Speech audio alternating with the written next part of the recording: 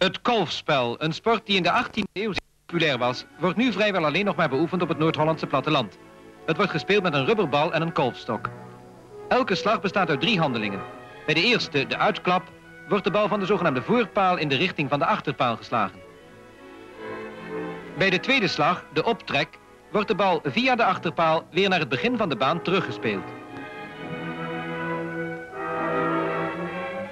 De derde of puntenslag tenslotte wordt geslagen van de plaats af die de bal bij de tweede slag heeft bereikt. En nu pas gaan de punten tellen.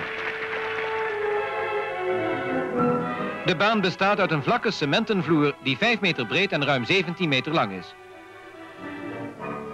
Kolven is een rustig spel, maar het lijkt veel gemakkelijker dan het is.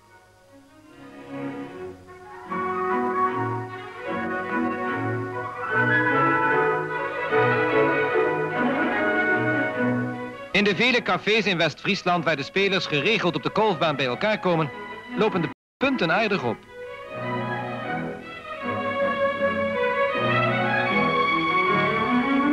Er zijn in de kop van Noord-Holland nog zo'n 500 actieve beoefenaars van de kolfsport, verspreid over 27 verenigingen. De spelers zijn ingedeeld in vier klassen.